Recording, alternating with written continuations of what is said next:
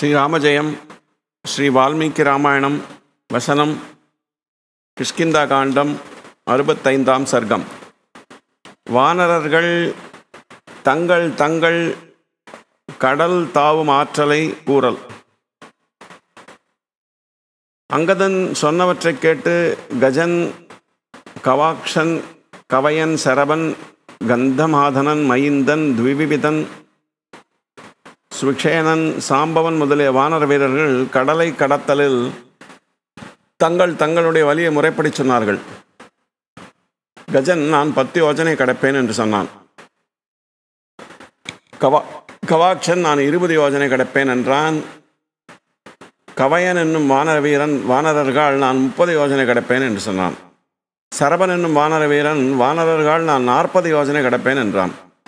வானரர்களுக்குள் வலியால் சிறந்த கந்தமாதனன் நான் ஐம்பது யோஜனை போவேன் இதில் சந்தேகமில்லை என்றான்.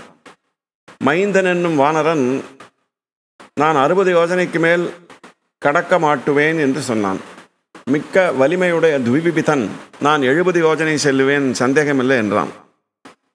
வானர வீரர்களுள் சிறந்த சுக்ஷேனன் வானர வீரர்கள் நான் எண்பது யோஜனை கடப்பேன் என்றான்.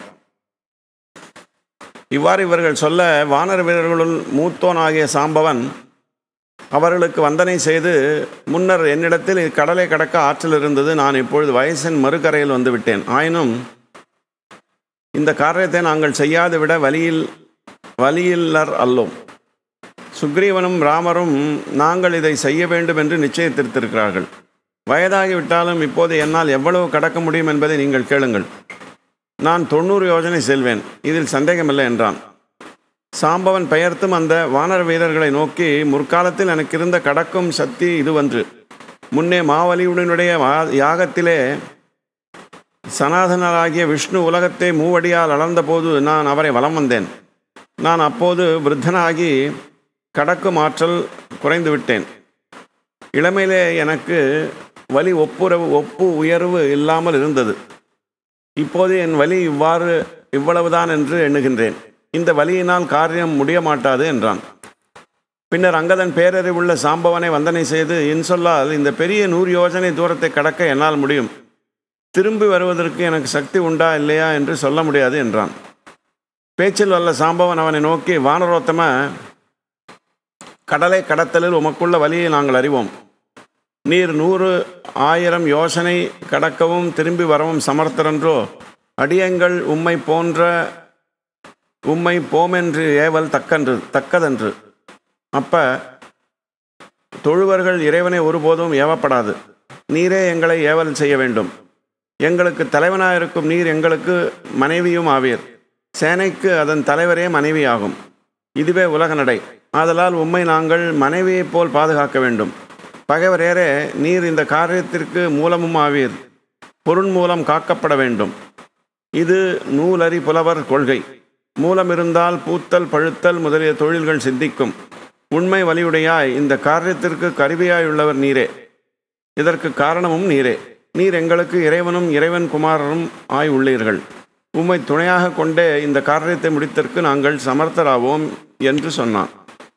இவ்வாறு கூறிய பேரறிவை உடைய சாம்பவனுடைய சாம்பவனுக்கு வாலிபுத்திரனாகிய அங்கதன் உத்தம உத்தரமுறைப்பவனாய் நானாதல் வேறொரு வானரத் தலைவனாதல் இக்கடலை கடந்து செல்வோமாயின் செல்லா தொழி செல்லாதொழிவோமாயின் இவ்விடத்து பெயர்த்து நாங்கள் செய்யத்தக்கது பட்டணி பட்டினி கிடந்து உயிர் துரத்தலென்றோ சிறந்த புத்தியுடைய வானரவேந்தன் கட்டளையை செய்யாது அங்கு செல்வோமாயின் நாம் நமது உயிரை காப்பாற்றிக் கொள்ள மாட்டோம். வானரவேந்தன் அருள் செய்வதிலும் கோபம் செய்வதிலும் மிக கடியவன். அவனுடைய கட்டளையை முடியாது சென்றால் நாசம் சம்பவிக்கும். இந்த காரியத்திற்கு வேறு முடிவில்லை. ஆகையால் முடிவறிந்த நீரே சிந்திக்க வேண்டும் என்று கூறினான். அங்கதன் இவ்வாறு கூற வானர வீரர்களுள் சிறந்த சாம்பவன் அவனை நோக்கி உத்தரமாக வீர இந்த காரியத்திற்கு ஒரு குறையும் வராது. இந்த காரியத்தை செய்து முடிக்க வல்லானே நான் அனுப்புகின்றேன் என்றான். பின்பு அவன் ஒரு தனி இடத்தில் சென்று சுகமாக வீற்றிருந்த வானர வீரர்களுக்குள் சிறந்த பெரு வலியுடைய அனுமானை வேண்டலாயினன். இத்துடன் ஸ்ரீ வால்மீகி ராமாயணம் கிஷ்கிந்தா காண்டம் அறுபத்து ஐந்தாம் சர்க்கம் நிறைவு பெற்றது. ஸ்ரீராம ராம ராம ராம ராம ராம ராமா.